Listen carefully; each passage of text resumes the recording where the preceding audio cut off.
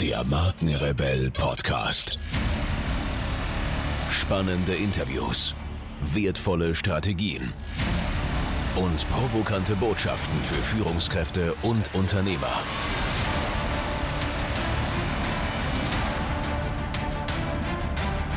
Stell dich den Herausforderungen der Digitalisierung und setze als Marke ein Zeichen. Von und mit Markenrebell Norman Glaser. Yes, here we go. Herzlich willkommen, ihr Lieben, zu einer weiteren Podcast-Folge. Heute in einem völlig neuen Format, denn wir wollen etwas mehr in unserem Markenrebell-Podcast für Startups machen. Und mein heutiger Interviewgast passt hier perfekt rein denn sie hat ein Unternehmen gegründet und wird uns heute dazu entsprechend äh, mehr erzählen. Doch bevor es losgeht mit der offiziellen Anmoderation hier im Intro, vielleicht noch eine kleine Anmerkung für euch, denn ich freue mich, wenn ihr uns über unsere WhatsApp-Gruppe, also Informationen dazu auf markenrebell.de, könnt euch gern einloggen, kostet nichts und ihr werdet versorgt mit exklusiven Inhalten und brandneuen Podcast-Folgen. Schickt mir einfach über diesen Weg eure Audionachricht, die ich hier dann im Podcast reinschneide und natürlich dazu Antworten liefern werde. Also ich freue mich auf eure Nachricht und dann wird das eine spannende QA-Folge, die wir demnächst hier wieder äh, bringen werden. Nun aber zu Anna Schatz. Wenn Wissen und Praxiserfahrung so verknüpft werden, dass daraus etwas Neues entsteht, dann hat Anna Schatz alles richtig gemacht. 2018 gründete sie das Unternehmen Healthcare.com. Spezialisiert auf den Gesundheitsmarkt erarbeitet sie mit ihren Partnern Lösungen, um die Akteure, Spezialisten in Kliniken, Arztpraxen und Apotheken erfolgreicher zu machen. Wie kann sie das schaffen und wo setzt sie an? Sind ihre Kunden nicht schon selbst perfekt im Markt unterwegs und wie gewinnt sie deren Vertrauen, wenn es um Veränderungsprozesse geht? Und ich bin natürlich gespannt, wie Anna Schatz ihre Kunden für die Digitalisierung fit macht. Doch nun genug der langen Worte. Viel Spaß bei der heutigen Podcast-Interview-Folge mit Anna Schatz. Anna, schön, dass du da bist. Heute hier im Markenrebell Podcast. Vielen Dank für deine Zeit. Äh, es ist immer wieder schön, ähm, äh, neue Menschen auch kennenzulernen, äh, so wie dich. Wir haben uns noch nie vorher gesehen und äh, sprechen heute hier das erste Mal. Deswegen freue ich mich umso mehr. Und bevor wir loslegen, vielleicht kannst du so ein paar einleitende Worte zu dir sagen. Äh, wer ist Anna Schatz als Privatmensch, als private Persönlichkeit und was genau machst du beruflich? Hallo Norm, ich freue mich sehr dabei zu sein. Also Gerne. ich bin ähm, Anna, ich bin 33 Jahre alt. Ich bin Mutter von gerade drei Jahre alt gewordenen Zwillingen. Ich bin ähm, Ehefrau natürlich. Ich bin ähm, ja, Geschäftsführerin einer ganz jungen Firma, und privat bin ich absoluter Familienmensch und gute Freundin, würde ich sagen. Schön. Erzähl mal ein bisschen mehr über äh, deine Firma. Also meine Firma, das ist die Healthcare.com GmbH. Mhm. Unsere Firma bietet Full-Service Kommunikationsleistungen an für mittelständische Unternehmen der Gesundheitsbranche. Mhm. Bedeutet also, hauptsächlich sind das Trainings und Coachings für Führungskräfte, für Mitarbeiter ähm, ja, aller Gruppen, die man in Gesundheitsunternehmen findet. Stark. Wie lange gibt es euch schon? Wie viele Leute seid ihr? Ähm, es gibt uns offiziell seit Mai. Ähm, ich arbeite seit Einzelunternehmerin in dem Bereich seit etwa zweieinhalb Jahren.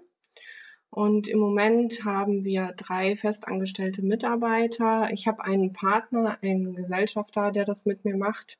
Und mhm. ähm, wir haben Freelancer natürlich noch im Unternehmen, mit denen ich schon viele, viele Jahre, manche an die zehn Jahre zusammenarbeite, denen ich vertraue.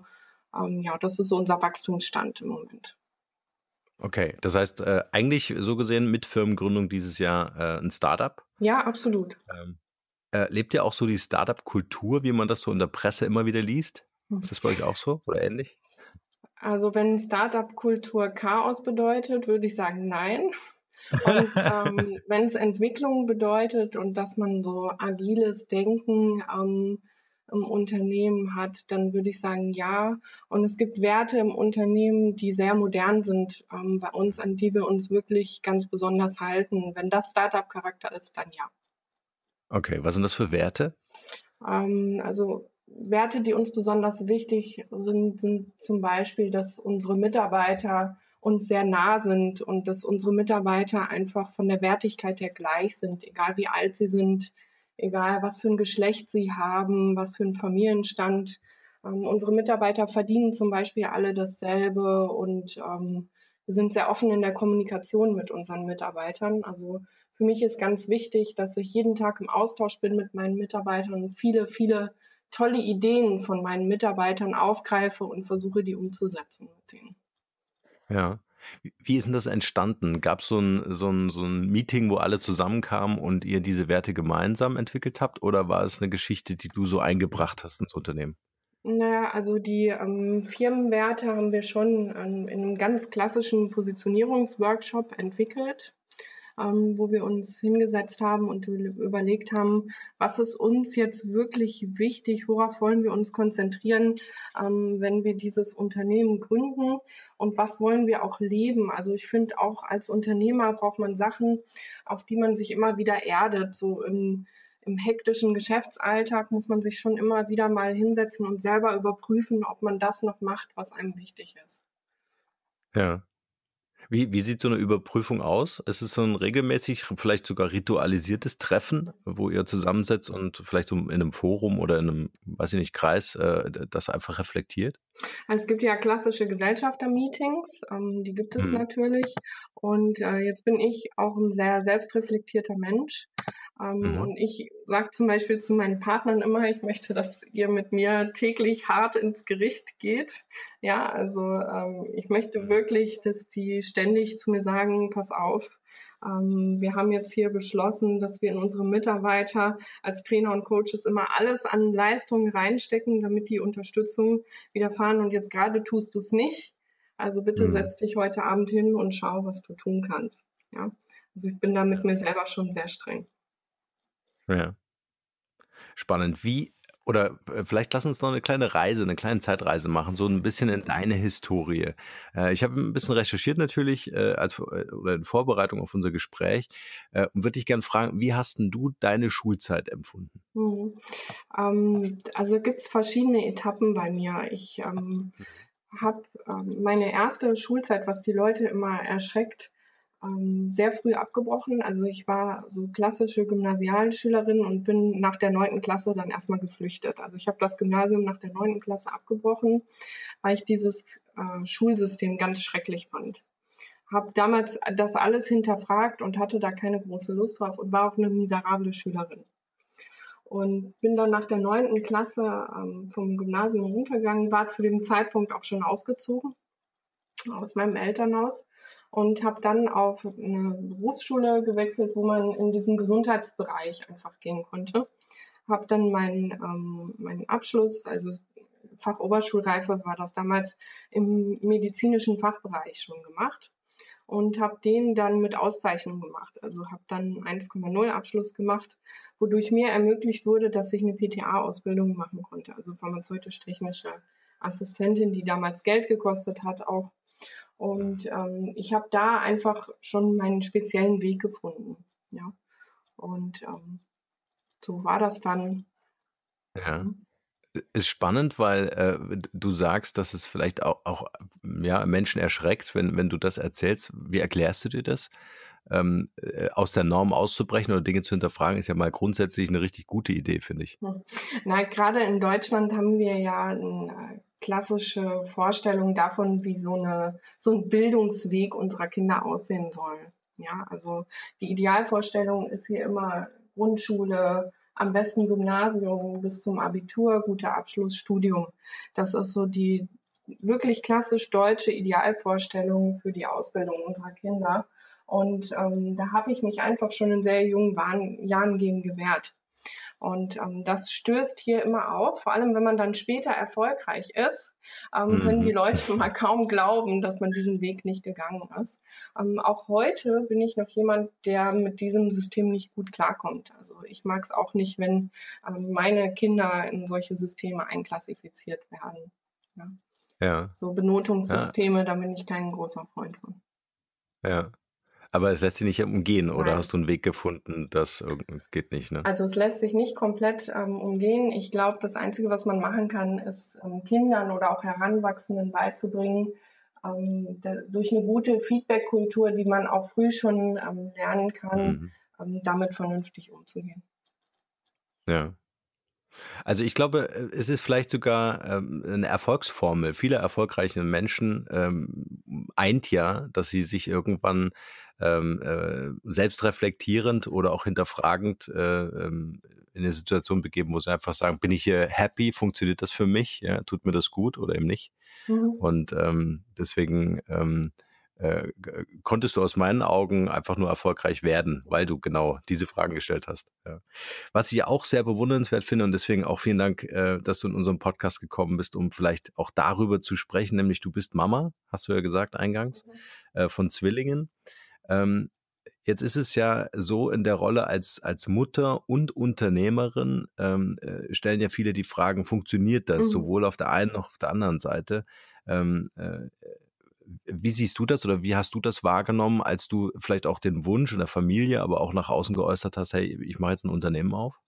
Ja, also das sind zwei verschiedene Themen, glaube ich. Die Unterstützung der Familie ist natürlich brutal wichtig. Ich habe jetzt das Glück, dass ich einen Ehemann habe, der mich von der ersten Sekunde an unterstützt hat. Und diese Ressource, die ist ähm, unersetzlich. Also jemanden zu haben, das muss nicht unbedingt ein Ehemann sein, das können auch gute Freunde sein oder die Familie, die das unterstützt, sowohl vom Gedanken her als auch mal pragmatisch. Ähm, das ist, glaube ich, ganz, ganz wichtig.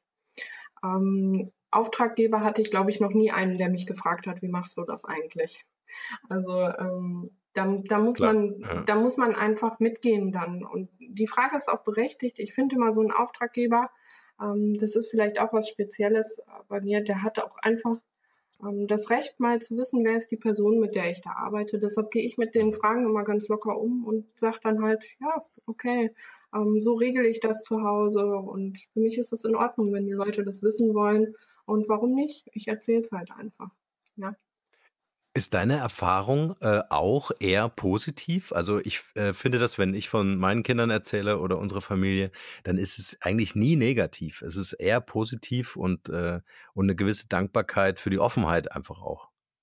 Ja, je offener man selber mit dem Thema umgeht, desto offener machen es auch die Leute. Ähm, es gibt natürlich immer das Thema Neid, wo man vorsichtig sein muss als junge Frau. Ähm, mhm. Das kenne ich schon auch. Ähm, dass sowas auf einen zukommen kann. Ähm, und oft ist es aber auch einfach Unwissenheit. Ja. ja. Wie, hat, wie hat sich der Neid geäußert? Gibt es da irgendein Erlebnis, das du hattest?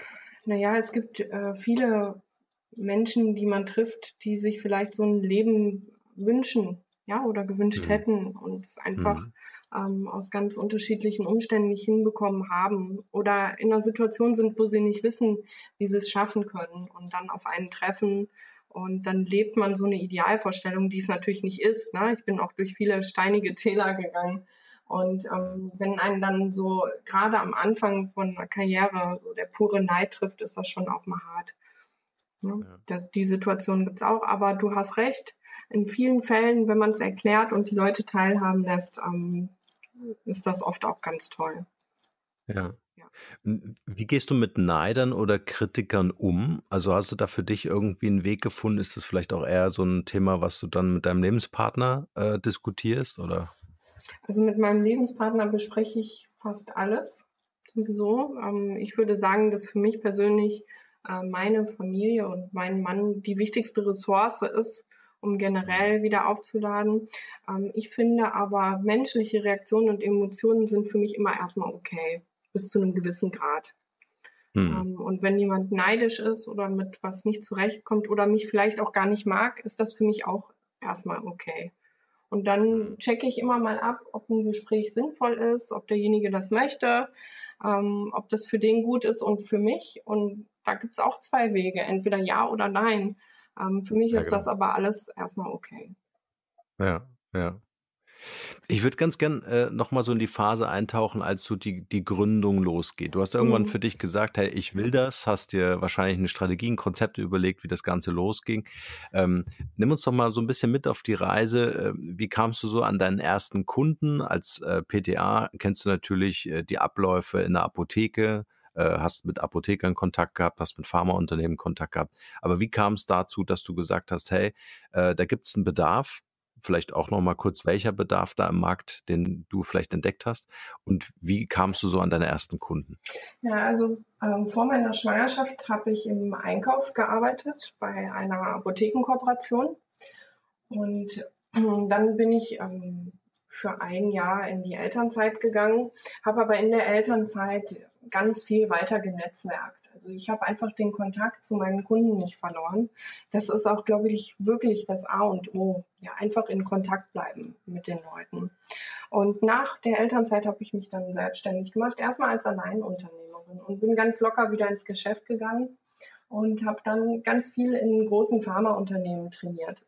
Ich hatte das Glück, dass ich eben diese Kontakte warm gehalten habe und konnte so relativ leicht ins Geschäft wieder einsteigen und habe viele ähm, Aufträge am Anfang erstmal gehabt, ja, wo ich nicht das große Geld verdient habe, wo ich aber Erfahrungen sammeln konnte. Das heißt, ich habe Trainings mhm. und Coachings gemacht in der Industrie und das wurde dann sukzessive immer mehr.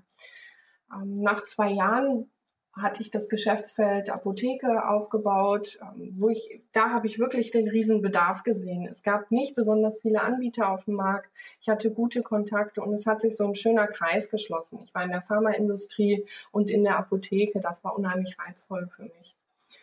Ähm, und ich hatte dann an irgendeinem Punkt so viel Arbeit, dass ich es alleine nicht abdecken konnte habe dann mit freien Beratern gearbeitet und das war mir einfach nicht genug von der Qualität der Kommunikation im Unternehmen.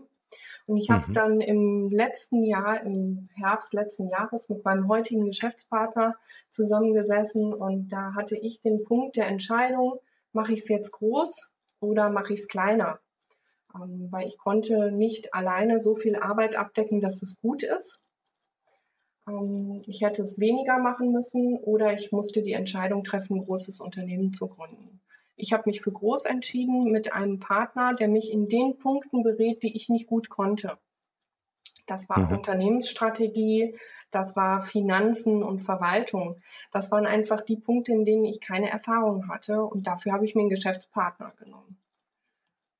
Und so mhm. ähm, wurde das Unternehmen gegründet aufgrund der deutschen Bürokratie hat das Ganze dann noch ja, sechs Monate gedauert, bis die Firma gegründet wurde. Ähm, die Zeit haben wir natürlich ganz effektiv genutzt, ja, um einfach die Unternehmensstrategie auf sichere Beine zu gründen, äh, zu stellen. Ja, und ja. so war dann im Mai, ähm, da hatten wir die ersten Mitarbeiter gesucht und die eingearbeitet, ähm, weiter Kunden gesucht, Geschäftsmodelle gestrickt und so weiter. Ja. Ja, also es ist super spannend. Ich habe mir gerade aufgeschrieben, also äh, äh, Netzwerk, einmal, also im Grunde waren es am Anfang für dich Invests, ne, die du gemacht ja, hast. Also absolut. Also einmal, einmal in dein Netzwerk natürlich, Zeit investiert, ne? Auch Geld investiert in, in Sachen äh, Weiterbildung, Ausbildung, aber auch in Projekten natürlich dich weiter fortgebildet. Und dann, was ich sehr äh, schlau finde, es erinnert mich auch an unsere Gründung bei Markenkonstrukt, äh, einfach die Wertschöpfungskette zu erweitern und zu sagen, okay, wer kann meine Kompetenzen ergänzen, ja, und so, dass man dann eine bessere Wertschöpfung den Auftraggebern anbieten kann. Ich glaube, das Geheimnis liegt wirklich darin, dass man als Unternehmer erkennt, ähm, wo die eigenen Stärken liegen und wo man Risiken hat im Handeln. Und wenn man diese Risiken kennengelernt hat, dann sucht man sich genau dafür Menschen, die zu einem persönlich passen und die diese Risiken abdecken können. Das ist, glaube ich, zumindest das Geheimnis. Dann hat man irgendwann ein gutes ähm, ja, Geschäftsteam ähm, sich geschaffen, womit man ja. zumindest schon mal eine gute Struktur aufbauen kann. Ja. Ähm, lass uns gern mal in die Engpässe einsteigen, mhm. die ihr identifiziert oder du identifiziert hast äh, bei euren Auftraggebern. Wer konkret ruft euch zu welchem Thema an? Vielleicht hast du so ein paar Beispiele auch vergangener Projekte, ähm, äh, dass den Zuhörern klar wird, äh, wann ich Healthcare.com anrufe. Also wir haben zwei unterschiedliche Geschäftsfelder. Das mhm. eine Geschäftsfeld ist Healthcare Professional. Im Professional-Bereich arbeiten wir mit ähm, stationären Handelsunternehmen zusammen. Zum einen im Pharma-Bereich, also große Pharmaunternehmen. Ähm, das kann von, vom Herstellenunternehmen äh, bis zum Softwareunternehmen alles sein.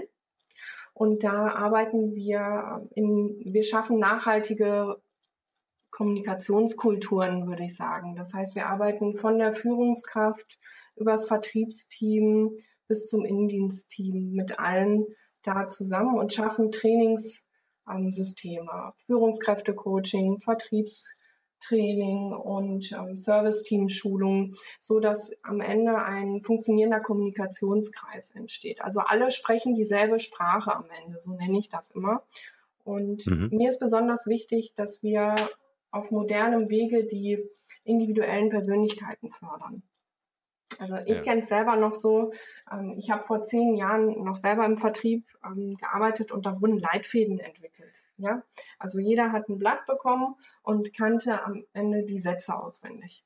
Das machen wir nicht sondern wir fördern ähm, ja, Persönlichkeiten und schauen, dass jeder einen Weg entwickelt, mit dem er sich wohlfühlt und trotzdem effizient arbeiten kann. Das zweite mhm. Thema, was wir da machen, ist Akademien entwickeln. Also viele dieser Unternehmen haben betriebsinterne Fortbildungsakademien und wir helfen beim Aufbau und schulen teilweise in diesen Akademien. Das ist so mhm. das ähm, Geschäftsfeld Professional. Dann haben wir das zweite Geschäftsfeld und das ist der Healthcare Coach Bereich. In diesem Bereich haben wir Apotheken und Kliniken, die wir betreuen. Hier haben wir auch festangestellte Mitarbeiter in ganz Deutschland, die wir ausgebildet haben zum Coach. Die kommen hauptsächlich aus dem Bereich Apotheke, also sind PTAs, PKAs, können aber auch aus der Pflege, aus dem Arztbereich kommen. Und da machen wir Teamtrainings, natürlich auch Verkaufstrainings, ähm, Teambuilding, alles das, was da wichtig ist. Und der Bereich ähm, Führungskräfte ist da ganz, ganz ausgebildet weil oft die Leute, zum Beispiel Apotheker, ähm, in ihrem Wissen sehr, sehr gut ausgebildet sind, aber nie die Möglichkeit hatten, Personalführung zu lernen. Mhm. Hier habe ich viele Kunden, mit denen wir über zwei, drei Jahre zusammenarbeiten, ähm, die sich wirklich stetig weiterentwickeln mit uns, die ihre eigene Marke aufbauen, ähm, wo so ein Apotheker sagt, super, ich habe jetzt drei Apotheken am Standort, möchte aber gerne, dass meine eigene Marke bekannt wird. Ja, also wer bin ich? Warum sollen die Kunden zu uns kommen? Und so weiter und so fort. Und das Schöne bei uns ist, dass das dann ganz gut in der Zusammenarbeit ähm, klappt. Also die Pharmafirma sagt dann super, wir arbeiten jetzt intern mit euch zusammen und wir möchten genau das, was ihr im Apothekenbereich macht, jetzt für unsere Apotheken mit euch machen. So haben wir dann ein schönes Multiplikatorensystem, was wir zusammen entwickeln und wir haben dann so ganz wunderbar funktionierende Kommunikationskreise. Hm. Ist ganz interessant. Ich glaube, ich habe es auf deiner Website äh, gelesen. Äh, ich glaube, äh, die Pharmaindustrie macht eine Milliarde Umsatz pro Tag. Ja, genau. Habe ich das? Ja, also nur mal um eine Vorstellung zu kriegen, ähm, äh, ähm, wie es in, in, in, dem Bereich oder in der Gesundheitswirtschaft als Branche äh, aussieht. Ja? Mhm. Also das ist schon schon enorm. Und sie ist eigentlich sehr unterentwickelt. Also ich hatte ja schon einige Interviewpartner, äh, um das dort auch mal äh, zu besprechen. Und es gibt eigentlich noch viel zu wenig äh, Berater oder Coaches so wie dich ähm, oder euch, äh, die da konkret Hilfestellung leisten. Ja. Also es gibt schon ähm, einige, aber ich finde, die Nachhaltigkeit ähm, könnte noch hm. sehr viel größer sein, dass man ja, ich sage immer zu meinen Partnern, dass man sich mal traut, sich richtig zu committen. Ja, dass man sagt, okay, mhm. ich habe jetzt hier einen Partner und mit dem arbeite ich nicht mal einen Tag auf einer Tagung zusammen, sondern ich schließe jetzt hier wirklich ein Commitment und sage, wir entwickeln uns jetzt mal ein Jahr oder zwei und schaffen hier wirklich ein mhm. nachhaltiges System, in dem sich auch die Mitarbeiter zurecht und wiedererkennen. Hm. Ja, das ist ganz wichtig. Ja, ja. Wie nimmst du das ganze Thema, ich meine, der, der Podcast geht hier zum Thema ähm, Personal Branding und mhm. Digitalisierung. Mhm. Wie nimmst du das Thema Digitalisierung im Markt wahr? Gibt es da ähm, ja, konkrete Anfragen an euch, äh, hier auch gecoacht zu werden? Also Digitalisierung ist für uns ein sehr spannendes Thema. Wir sind gerade dabei, einen Geschäftsbereich aufzubauen, der heißt Healthcare Digital. Ähm, mhm. Wir planen fürs nächste Jahr ein Ausbildungssystem. Ähm, das wird ungefähr heißen, es ist ein Arbeitstitel Fachkraft für digitale Medien. Ähm, speziell für den Apothekenbereich zum Beispiel, wo es sich eben mal nicht nur um Facebook, Twitter und dergleichen ähm, dreht, das Thema kennen jetzt eigentlich alle natürlich auch, sondern um digitale Prozesse in Apotheken, weil das ist ein irre spannendes Thema, finde ich. Also angefangen von der digitalen Steuererklärung über Backoffice-Tätigkeiten. Also wie kann ich Bestellungen digitalisieren? Ähm, wie kann ich so Abholsysteme digitalisieren? Ähm, weil das sind Themen, wo die Apotheken einfach wahnsinnig viel Arbeitszeit und Kraft ähm, einsparen können, um die dann freizumachen für andere ja, Geschäftsfelder wirklich, die noch bedient werden können. Da ist unheimlich viel Musik drin. Denke ich, ja. die, die noch genutzt werden kann. Und da wird noch unheimlich wenig gemacht, finde ich. Also es ist für ja. uns ein irre spannendes Thema. Ja. Ich muss an dieser Stelle ganz kurz unterbrechen. Ich werde immer wieder gefragt, ob ich auch Podcast-Coachings anbiete, in denen ich meine Erfahrungen, Methoden und Strategien weitergebe und ob ich bei der Umsetzung weiterhelfen kann. Was ich mit dem Markenrebell und über 70.000 Hörern pro Monat bereits erfolgreich geschafft habe, möchte ich nun mit dir teilen. Da mein Kalender ständig überfüllt ist und ich mit Leuten arbeiten will, die wirklich in die Umsetzung kommen wollen, sind meine Zeitfenster begrenzt. Bewirb dich also jetzt gleich für mein Podcast Mastery Coaching. Mehr dazu unter markenrebell.de slash Podcast Coaching. Den Link findet ihr natürlich auch wie gewohnt in den Shownotes zu dieser Podcast-Folge. In diesem Coaching werden wir uns ganz intensiv mit dir als Marke und deinem Business beschäftigen. Es gibt Praxis, Praxis und nochmals Praxis. Du kannst mir alle Fragen stellen und alles das, was ich dir erzähle, kannst du sofort umsetzen. Also gib dir als Marke eine Stimme. Jetzt ist genau der richtige Zeitpunkt dafür. Und nun geht's weiter hier. Ähm, wir haben ja auch lange Jahre ähm, äh, mit Apotheken zusammengearbeitet und was uns dort auch aufgefallen ist, ist äh, neben dem, was du gerade gesagt hast, den ganzen Digitalisierung von Prozessen, von Unternehmensprozessen in der Apotheke, auch in Verbindung mit Apothekenkooperationen oder mhm. Großhandel, ähm, äh, ist uns aufgefallen, dass also meines Erachtens äh, viel zu wenig getan wird in der Kommunikation hin zum Kunden. Ja. ja also die horizontale ähm, Vernetzung funktioniert, ja, also Apotheke zu Apotheke oder Apotheke zu Großhandel und so weiter. Aber so die vertikale Vernetzung hin zum Kunden, äh, gibt es da äh, ähm, Konzepte oder Ideen, die ihr habt, ja, ähm, äh, die in, anbietet? Also das ist natürlich mein Leidenschaftsthema. Wir sind ja Kommunikationsunternehmen und auch da sowohl, sowohl in der Apotheke als auch in der Klinik, auch in Kliniken ist das ein wahnsinnig spannendes Thema. Ja, also wir, ähm, wir entwickeln auch Systeme für Unikliniken, aber es führt alles auf dasselbe zurück. Ähm, du kannst die tollsten Systeme entwickeln und moderne Apotheker oder auch Klinikleiter, die kommen damit klar, die können die Schnittstellen schaffen, die können Systeme und Prozesse generieren. Aber wenn du die Leute nicht mitnimmst, sowohl in deinem Team als auch die Kunden nicht mitnimmst auf diesem Weg, dann wirst du keinen Erfolg haben. Ja, und das müssen die Leute lernen. Du kannst nicht hm. dich morgens hinstellen und sagen, super, das funktioniert jetzt, macht. Mhm. Und noch schlimmer wird es, wenn du dich hinstellst, und das ist eben das, was ich mit Kommunikationskultur meine, und das ist auch leider oft das, was ich noch sehe. Du kannst dich als Führungskraft nicht hinstellen und morgen sagen, so Leute, eigentlich seid ihr alle blöd hier, aber ich habe jetzt was Tolles entwickelt, treibt es nach vorne. Mhm. Und das meine ich eben mit nachhaltigen Systemen. Wir fangen immer erst oben an. Es gibt nicht umsonst das alte Sprichwort, der Fisch stinkt vom Kopf. Ja, sag das immer so provokativ. Wir fangen immer im Unternehmen an, diese Kultur aufzubauen, weil wenn die gesund und wertschätzend ist, dann ziehst du die Mitarbeiter mit und dann setzen die sich ein für dein Produkt. Mhm. Ja, und dann müssen die natürlich lernen, welchen Kundentyp kann ich wie auf diese Reise mitnehmen und welcher Typ braucht was. Klar, diese Systeme haben wir. Da kann ich jetzt sofort rausfahren zum Kunden und die trainieren. Und das ist so, so wichtig. Ja, ist ja auch eine wichtige Erkenntnis, ähm, dass äh, die Implementierung oder, oder Etablierung von Innovationen oder äh, neuen Technologien eigentlich immer über den Bildungsweg funktionieren immer. kann oder muss. Ja. Also genau wie du äh, gerade beschrieben hast, äh, dass jemand kommt und vor allen Dingen gerne von außen kommt, ja, werden ja oft Beratungsagentur geholt, äh, die dann irgendwie ein Portal aufsetzen, was dann Leute betreiben sollen, die das Portalthema ähm, äh, noch nie in der Schulung gehört haben. Mhm. Ja, dass es über diesen Weg funktionieren muss, ist einfach äh, liegt ja. klar auf der Hand. Und es gibt Unternehmen, die machen es wirklich toll. Ich kenne Unternehmen, die machen das seit Jahren richtig gut. Die entwickeln neue Systeme, auch Kooperationen.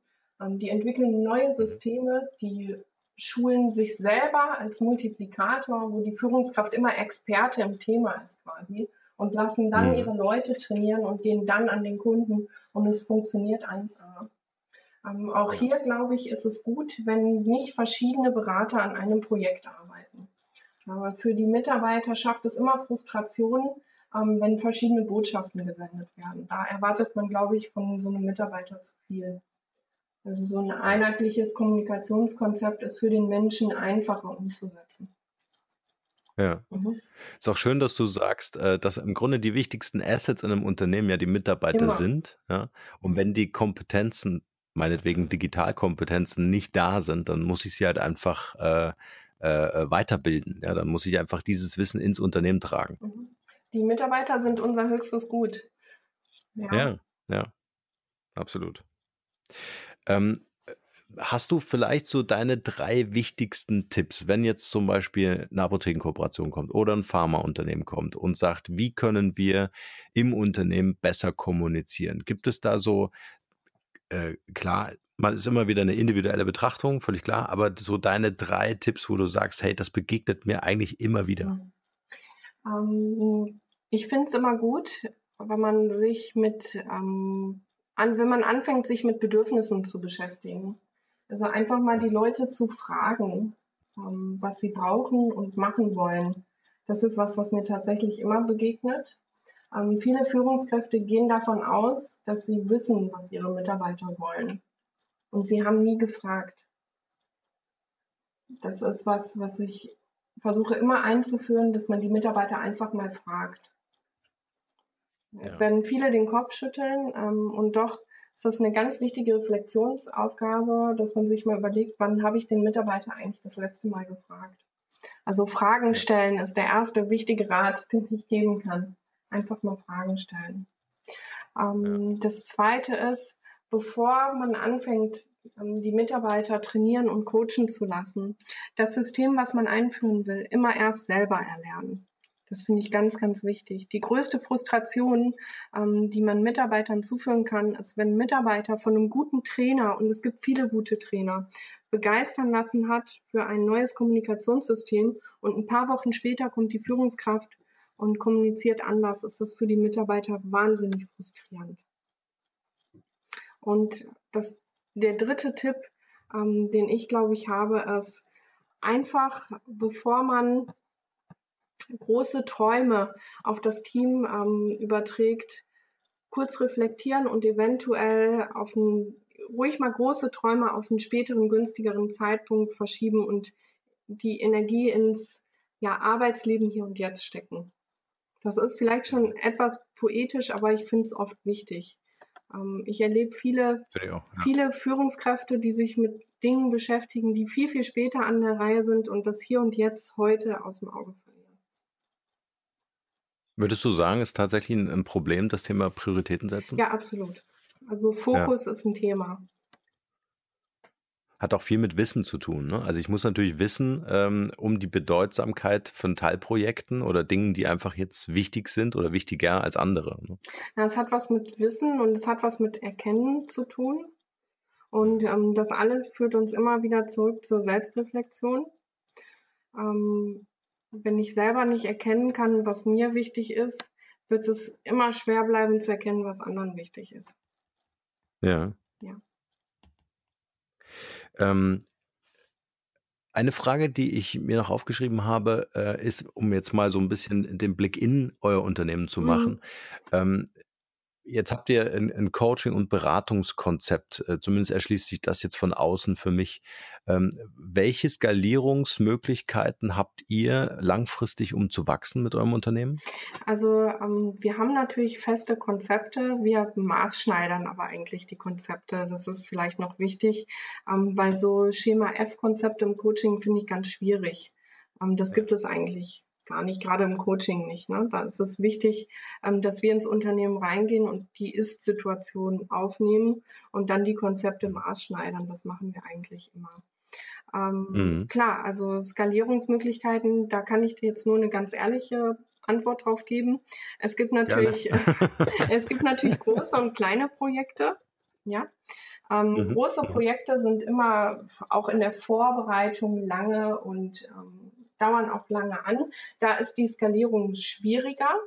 Die hat man oder hat man nicht. Aber zum Beispiel unsere festangestellten Coaches sind jeden Tag draußen und verkaufen natürlich auch Trainings und Coachings in der Apotheke.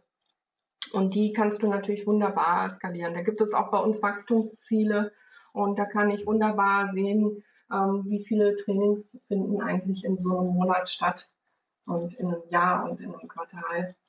Und ähm, mhm. was für Kunden haben wir da auch? Ähm, das müssen wir als Startup natürlich auch tun. Aber ich möchte ja gerne, dass es uns auch in zehn Jahren noch gibt. Ja, absolut. Mhm. ähm, wenn du äh, jetzt eine Fee triffst ja. und äh, äh, die sagt, ähm, such dir ein Projekt aus, was du gerne machen wollen würdest. Was wäre so dein leidenschaftliches Ding, dass du sagst, hey, wenn so ein Unternehmen morgen anruft äh, mit der und der Aufgabenstellung, äh, das wäre jetzt so wirklich meine Passion. Mm, es gibt mehrere Projekte, für die ich im Moment total brenne. Mhm. Ähm, es, zum einen ist es wirklich das Kerngeschäft, für das ich im Moment brenne, um so meinen Unternehmenserfolg zu sichern. Das ist mir schon ganz, ganz wichtig. Ähm, so weitere wichtige Markenplayer der Branche würde ich gerne als Kooperationspartner gewinnen. Ähm, das ist was, mhm. was die Fee mir ähm, ermöglichen könnte. ja, also wirklich ja. Äh, wichtige Markenplayer, die sagen, okay, wir committen uns da in verschiedene Richtungen, ähm, sowohl für den Professional-Bereich als auch als Multiplikator für den Apotheken- und Ärztebereich und ähm, ja, schließen da einfach eine wirkliche Kooperation und vertrauen diesem Unternehmen Healthcare.com. Das ist was, äh, für das ich brenne. Ähm, das ist die eine Seite und ein Thema, was mich im Moment brennt, interessiert, ist wirklich der Klinikbereich. Das ist eine Leidenschaft, mhm. ähm, die mich da gepackt hat, weil ich einfach das Thema ähm, ja, dieser Multifunktionalität in den großen Kliniken unheimlich spannend finde. Ja, auch die Komplexität wahrscheinlich. Ne? Genau, ne? die Komplexität und mich da mit jemandem gemeinsam auf die Reise zu machen, ähm, quasi von, von der Dame, die im Keller den Schlauch bei der Magenspiegelung ähm, reinsteckt bis zum Geschäftsführer, ja, diese Systeme aufzubauen. Mhm. So. Cool. Ich sag der Fee Bescheid. Danke. Äh, Anna, ich habe noch ein paar Fragen ja. in, in, einer kurzen QA-Session mhm. vorbereitet. Ich würde dich einfach bitten, mit einem Wort oder mit einem Satz ganz kurz zu antworten, was dir dazu einfällt. Okay. Erste Frage: Was ist deine Mission?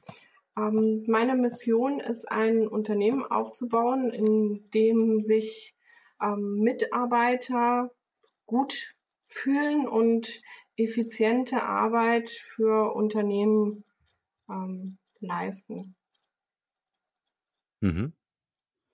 Meine Lieblingsfrage, hast du ein Talent, von dem bisher keiner weiß? Ähm, da würde ich sagen, ich bin leidenschaftliche Tänzerin, was wenige wissen. Ich versuche cool. gerade meinen Mann davon zu überzeugen, dass wir argentinischen Tango tanzen. Oh, wie cool ist das denn? Äh, äh, zeig ihm am besten den Film Dance. Okay. Mit Antonio Banderas. Das werde ich machen. Wenn du meinen Mann ja, ähm, kennen würdest, der wird wahrscheinlich sehr lachen, wenn du das hörst. Dann ähm, würdest du wissen, dass da noch ein Stück Arbeit vor mir liegt. Ja, aber das wird schon. wenn man den Film oft genug okay. sieht. Okay. Ähm, wenn die Leute an dich denken, was wäre das eine Wort, wofür du selbst als Marke bekannt sein willst oder schon bist? Um, ähm, da würde ich sagen, das ist das zentrale Gespür für den Menschen. Mhm. Welcher Moment oder Rat hatte, für, äh, hatte einen besonders nachhaltigen Einfluss auf dein heutiges Leben? Oder würde ich sagen, die Geburt meiner Kinder. Schön, das verstehe ich gut. Was ist das Wertvollste, was wir von dir lernen können? Hm, dass alles seine Zeit hat. Mhm. Kannst du uns drei Internet-Ressourcen oder Mobile-Apps empfehlen, die du selbst verwendest? Oh ja, ähm, ich benutze die App Wunderlist. Die hat mir mein mhm. Geschäftspartner empfohlen. Und seitdem ist die bei mir im Dauergebrauch. Das ist eine ganz einfache App. Du kennst die bestimmt, ne? Ähm, das ist eine ganz einfache To-Do-List-App und ich liebe die. Ähm, das ist im täglichen Einsatz. Ich habe äh, eine private Wunderlist, ich habe eine Arbeitswunderlist, meine Sekretärin hat eine Wunderlist. Äh, ist so einfach und ganz toll. Kann ich nur empfehlen. Und ähm, noch was Einfaches, Adobe Scan. Äh, da habe ich mir die Professional-Version gegönnt und seitdem mache ich sowas Effektives, wie dass ich aus dem Hotel auschecke und sofort in diesem Moment meine Belege einscanne und an die Buchhaltung mhm. schicke. Das erspart mir halt einen ganzen Arbeitstag für die Buchhaltung. Mhm. Finde ich toll. Coole Idee. Ähm, und die dritte ist ähm, die Übersetzer-App für iOS. Die habe ich letztens entdeckt. Übersetzer mit drei Ausrufezeichen. Die ist echt genial. Da kann man, egal wo man ist, wenn man die Sprache nicht perfekt ähm, beherrscht, per Spracheingabe sich alles perfekt übersetzen lassen. Auch im Taxi oder so, Adressen, ähm, alles, was man braucht. Ähm, das sind so drei Apps, die ich im täglichen Gebrauch echt toll finde. Mhm. Pack mal mit in die Show Notes. Ähm, kannst du uns ein Buch empfehlen, welches für dich einen großen Mehrwert hatte? Oh, da habe ich auch ein spezielles. Ähm, was mich geprägt hat, ist eine Biografie ähm, die mhm. Biografie von Marie Curie. Die hat mich mhm. echt geprägt. Kann ich nur empfehlen. Ist mal was ganz anderes.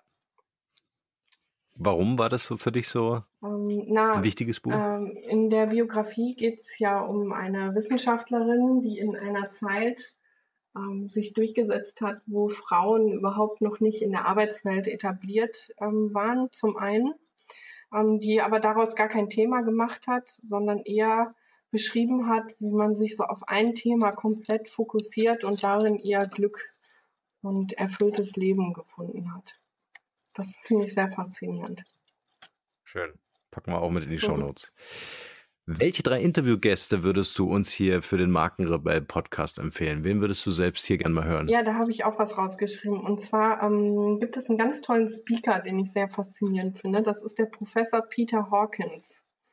Der ist äh, mhm. Professor of Leadership an der Henley Business mhm. School. Den hört man öfter schon mal auf so ähm, Resilienzseminaren hier in Deutschland. Finde ich einen sehr faszinierenden ja, Leadership Coach. Mhm. Fragen wir an. Ähm, den Willi Grassel vom Flughafen München, den habe ich auch schon öfter gehört. Ähm, der berichtet mhm. so über Mitarbeitersysteme in aufregenden Arbeitssituationen. Ähm, Finde ich auch spannend für Führungskräfte. Mhm. Und ähm, wen ich für Frauen immer ganz toll finde, ist die Sabine Heinrich. Sabine Heinrich, ähm, mit der spreche ich öfter auf der Brigitte Academy, tolles Event für ähm, Frauen in der beruflichen ähm, Entwicklung. Und die hat immer tolle Tipps auf Lager, wenn es um berufliche Weiterentwicklung geht. Super. Ist notiert fragen wir gern an. Anna, wir sind am Ende mhm. unseres Interviews und ich würde dir gern das Schlusswort überlassen mit der letzten Frage, nämlich was ist dein bester Tipp für ein glückliches und erfülltes Leben? Mein bester Tipp für ein glückliches und erfülltes Leben ist ähm, die Ruhe in einem selber zu finden, indem man immer darauf achtet, in welchen Situationen man sich gut fühlt und diese Situation zuzulassen. Punkt. Schön. genau hier machen wir den Punkt. Vielen Dank für die Zeit und für das tolle Gespräch. Ich danke dir, Norm. Gerne. Tschüss. Tschüss.